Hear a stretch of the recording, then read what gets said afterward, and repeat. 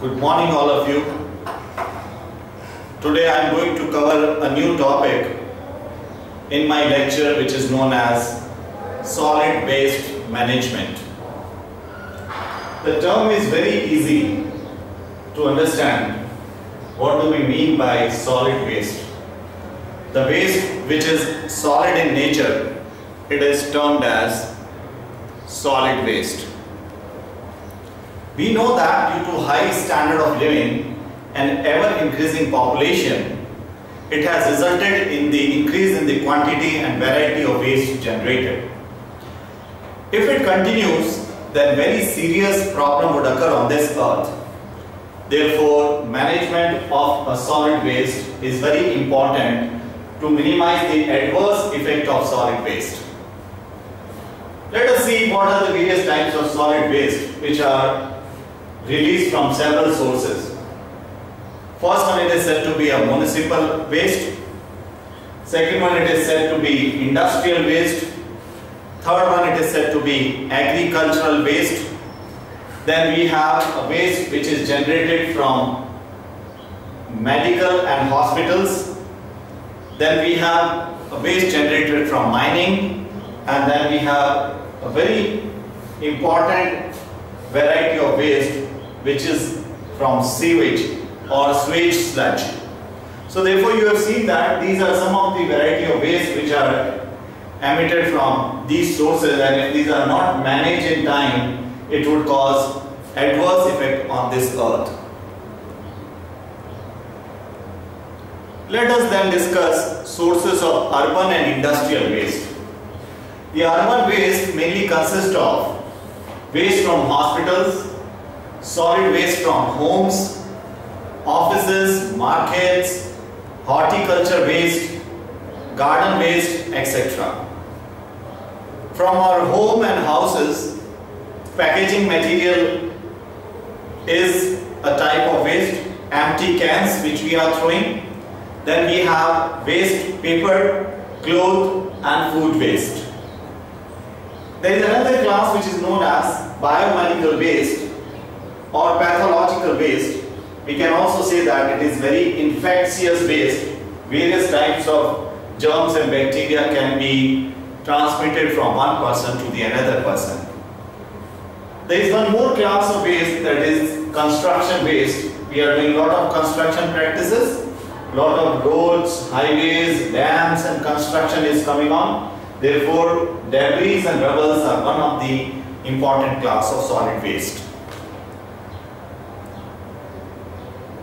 Now comes what is the difference between biodegradable and non-biodegradable waste. I'll give you some example like stale food, tea leaves, eggshells, peanuts, shells, etc. And second class is the polyethylene bags, scrap materials and glass bottles. The industrial waste mainly consists of factory rubbish, packaging material, organic waste, acid substances, alkali substances.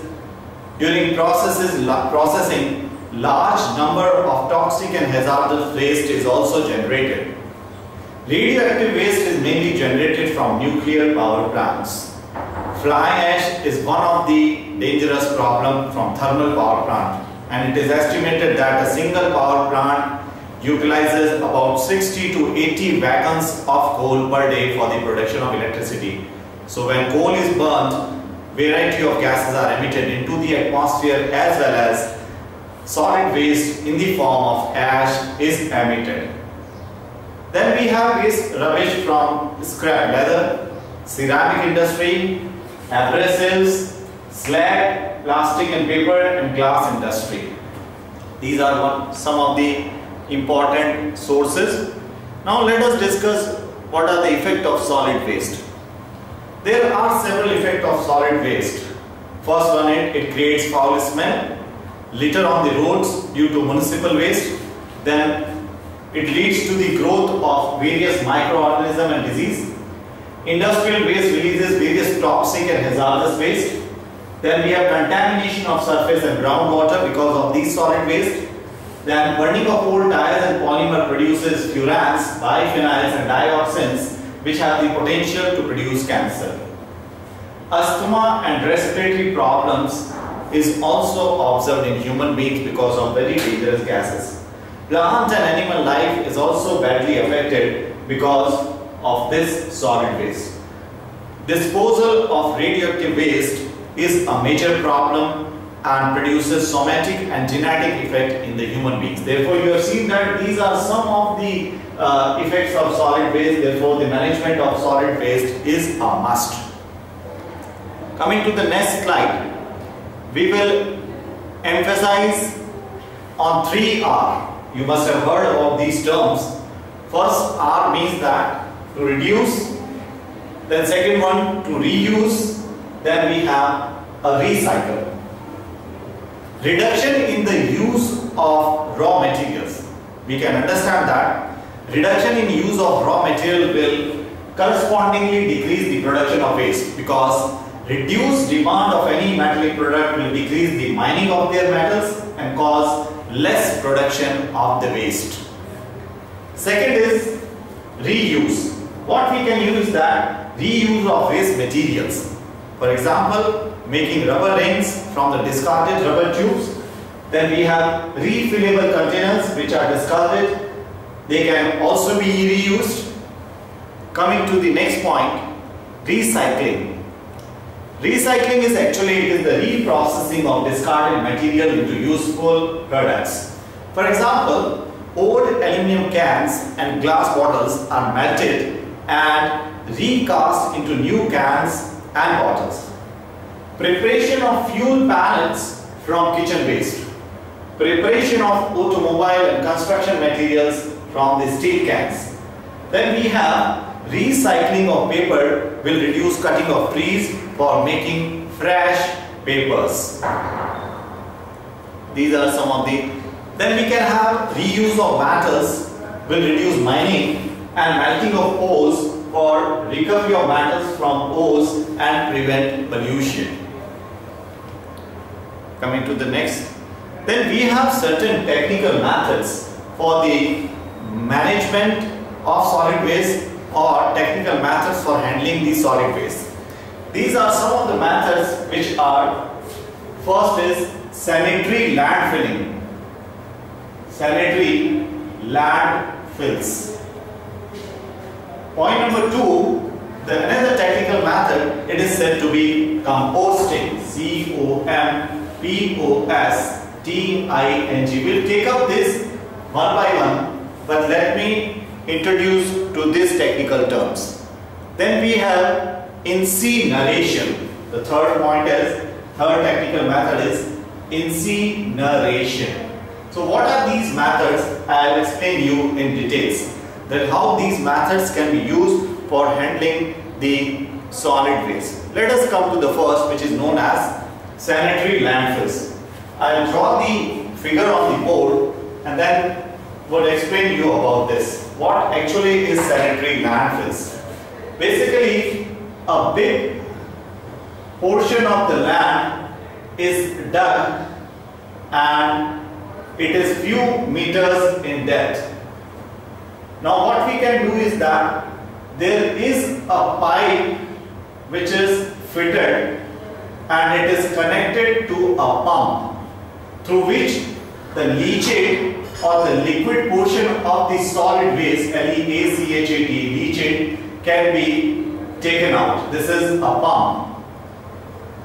Then the bottom of this, the bottom of this landfills is coated with thick plastic sheet. The purpose of coating the bottom of this landfill with thick plastic sheet is to prevent any seepage of leachate beneath the ground. Means that otherwise the solid waste it also consists of the liquid portion which may consist of acidic substance, which may consist of basic substance or some hazardous material it is if it is in the liquid form, it may percolate through the layers of the earth and would then cause the pollution of the underground water. So this is the layer of the earth above which there is a coating of thick plastic sheet and there may be a coating of sand or gravel here also so that it will prevent the percolation of the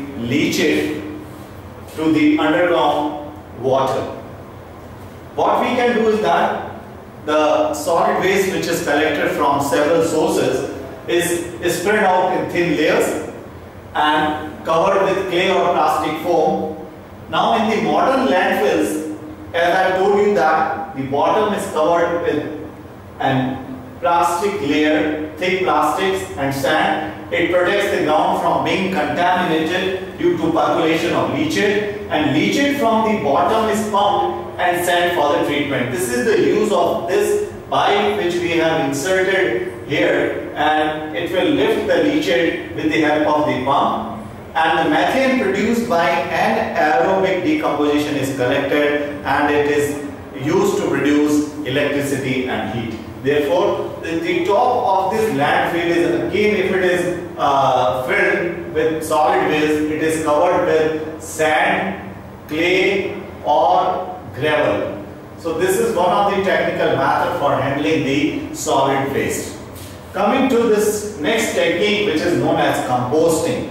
Basically, this composting technique is used for a biodegradable waste because it allows the waste to degrade or decompose in the oxygen rich environment.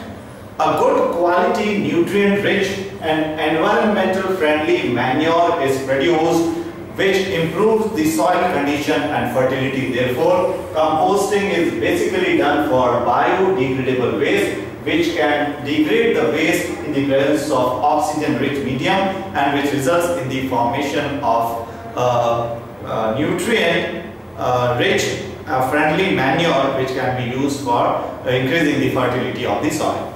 Coming to the next method, it is known as incineration. Basically incineration means burning or treatment under temperature. Treatment under temperature means that the solid waste is first segregated uh, so that it does not contain any lead, cadmium or other heavy metals. And what we can do is that the rest of the waste uh, after segregation of this uh, waste can be subjected to high temperature. And this technique is known as incineration. And the apparatus of the machine used for handling this solid waste which is free from lead, cadmium and other heavy metals, lead batteries and cadmium and other uh, hazardous substances, uh, these it can be subjected to burning and these are burning plants capable of burning a large amount of materials at high temperature. The initial cost is very high but for incineration of materials it is better to remove batteries containing heavy metals and plastic containing chlorine before burning the materials. Prior removal of plastic will reduce emission of dioxins and polychlorinated biphenyls. Therefore, you have seen that the waste which is released from several sources, it has major impact on the environment, human life, plant life because this waste, if it is not handled or managed in time, it will uh, cause major effect on the uh, reduce the fertility of the soil, uh, the beauty and the landscape area of the earth will be spoiled. Various types of uh, uh, hazardous substance will enter into the air and the water stream and will cause air pollution and the water pollution. Then uh, reduction in the fertility of the soil and uh, various other airborne and waterborne diseases will uh, take place because of this solid waste. Therefore, the management of the solid waste is a must. Uh, this is all for this topic. Thank you so much.